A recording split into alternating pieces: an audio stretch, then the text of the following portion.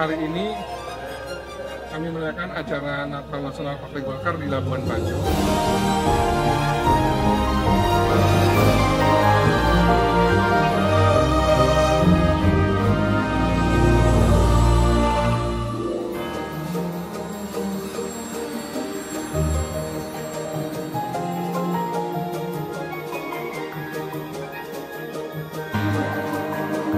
Sebelum salam, salam damai Natal hormat pula.